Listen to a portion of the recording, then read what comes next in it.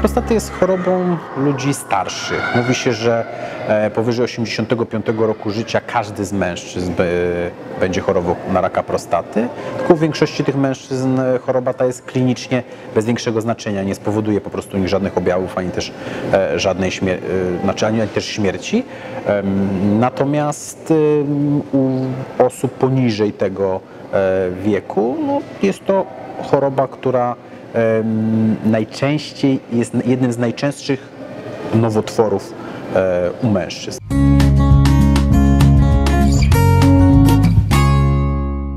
W pierwszej fazie nie objawia się niczym, e, niestety. Mm, natomiast e, my dochodzimy do tego, że pacjenci mają raka prostaty po wynikach badań badań klinicznych oraz badań laboratoryjnych. Natomiast w przypadku zaawansowanych zmian nowotworowych raka prostaty E, są to e, wszelkiego rodzaju problemy w, z oddawaniem moczu oraz objawy związane z chorobą przerzutową, czyli zmiany w, przede wszystkim w kościach i w płucach.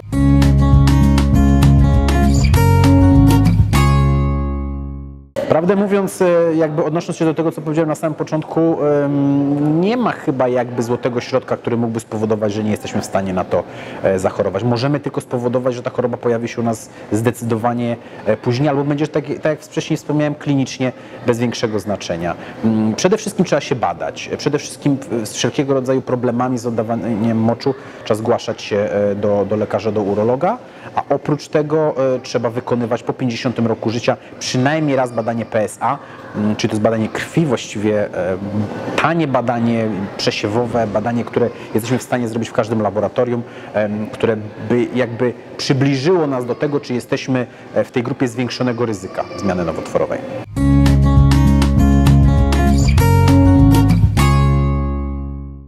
Prostaty bardzo rzadko występuje poniżej 40 roku życia. Właściwie poniżej 50 e, roku życia to też jest e, kazuistyka. Przede wszystkim wszelkiego rodzaju zmiany związane z oddawaniem moczu, czyli częstsze wstawanie w nocy, cieńszy strumień moczu, ciągłe parcia na mocz, jak również bóle kostne. Ale tak jak mówię, jest to choroba raczej ludzi starszych, w związku z tym mało prawdopodobne, żeby, żeby młoda osoba miała zdiagnozowanego raka prostaty.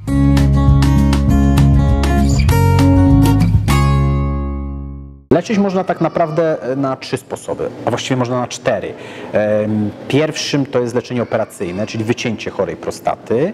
Mm, równoważnym, czyli właściwie tak samo skutecznym leczeniem e, będzie e, naświetlenie tej prostaty w Instytucie Onkologii i wszelkiego rodzaju jakby radioterapia tej, tej, raka, tego raka prostaty w tym, w tym instytucie. Mm, można też leczyć samymi zastrzykami, ale to jest właściwie utrzymywanie tylko choroby w tak zwanych ryzach. To nie jest leczenie, tylko przeznaczone dla pacjentów, e, jakby terapia przeznaczona dla pacjentów w zaawansowanym wieku, którzy się nie kwalifikują ani do operacji, ani też do, do leczenia radioterapią.